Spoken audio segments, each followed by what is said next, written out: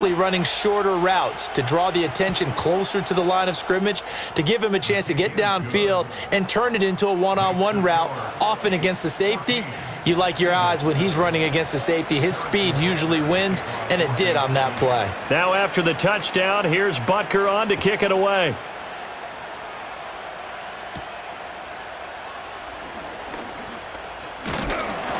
And they're going to start this drive in pretty good shape up past the 30.